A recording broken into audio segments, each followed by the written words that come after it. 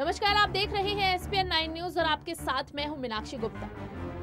नेपाल की राजनीति में उथल पुथल लगातार जारी है। दिसंबर 2020 में प्रधानमंत्री केपी शर्मा ओली ने संसद यानी प्रतिनिधि सभा को भंग कर दिया और मध्य अवधि चुनावों की घोषणा कर दी। उन्होंने अपनी ही पार्टी के कई नेताओं पर सहयोग नहीं करने का आरोप लगाया। ओली पर पार्टी के चेयरमैन पुष्प कमल दहल ने भ्रष्टाचार के भी आरोप लगाए थे। उन पर ये भी आरोप लगे हैं कि हाल के दिनों में उन्होंने अपने पुराने दोस्त भारत को छोड़कर चीन के साथ नजदीकियाँ बढ़ा ली। रविवार को उन्हें कम्युनिस्ट पार्टी से बाहर का रास्ता दिखा दिया गया। इसके अलावा पार्टी ने केपी शर्मा ओली की सदस्यता को भी रद्द कर दिया। ऐसे में नेपाल की राजनीति में एक बार फिर से अस्थिरता आ गई है। सवाल उठता है कि आखिर ओली को पार्टी से बाहर क्यों निकाला गया? नेपाल में अब क्या होगा? आइए इन तमाम सवालों के जवाब तलाशने की कोशिश करते हैं।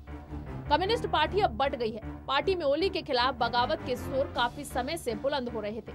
एनसीपी के नेता पुष्प कमल दहल प्रचंड ने पिछले हफ़्ते सरकार के खिलाफ एक रैली निकाली थी। इस दौरान उन्होंने कहा था कि प्रधानमंत्री केपी शर्मा ओली ने अवैध तरीके से संसद को भंग किया और देश को मुश्किल हालात में डाल दिया।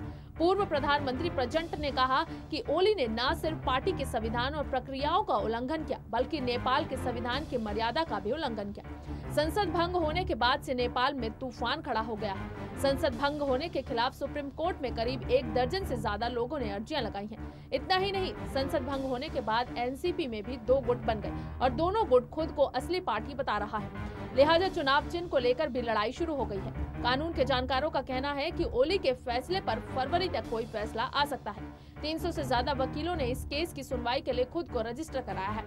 पिछले साल 29 दिसंबर को नेपाल में पच्चीस हज़ार से ज़्यादा लोगों ने ओली के ऑफ़िस के बाहर मार्च निकाला था। इसके अलावा देश के दूसरे हिस्सों में भी विरोध प्रदर्शन हुए थे। उस वक्त दहल ने कहा था कि ओली देश की शांति को भंग करना चाहते हैं। ओली के नेपाल की कम्युनिस्ट पार्टी को पुनर्जीवित करने की संभावना है, जिसका तीन साल पहले नेपाल कम्युनिस्ट पार्टी बनाने के लिए माओवादियों के साथ विलय कर दिया गया था। ऐसी खबरें हैं कि ओली नेपाली कांग्रेस से समर्थन लेकर सत्ता में बने रहेंगे। विपक्षी नेपाली कांग्रेस को उम्मीद है कि उन्हें चुनाव में बड़ी जीत मिलेगी, लेकिन उन्हें इस बात का डर है कि अप्रैल के आखिर और मई की शुरुआत में बारिश, विरोध और हिंसा का बहाना बनाकर चुनाव को आगे बढ़ाया जा सकता है। नेपाली कांग्रेस केंद्रीय समिति के सदस्य शेखर कोइराला ने कहा, मुझे संदेह है की चुनाव निर्धारित तारीखों पर होंगे। नेपाल सेना ने स्पष्ट कर दिया है कि वो मौजूदा राजनीतिक घटनाक्रम में तटस्थ रहेगी। लेकिन अगर पीएम ओली कानून और व्यवस्था बनाए रखने और विरोध प्रदर्शन के लिए सुरक्षा बलों की मदद से शासन करने की कोशिश करते हैं तो ये देखना दिलचस्प होगा कि वहाँ की सेना क्या करती है। फ़िलहाल के लिए बस इतना ही। देश और दुनिया ऐसी जुड़ी ताज़ा तमाम अपडेट्स के लिए आप जुड़े रहिए एस नाइन न्यूज़ के साथ। और अगर आपको हमारा वीडियो पसंद आया है तो इसे लाइक, शेयर एंड कमेंट ज़रूर करें। साथ ही साथ हमारे चैनल एस नाइन न्यूज़ को सब्सक्राइब करना बिल्कुल भी ना भूलें। Bye.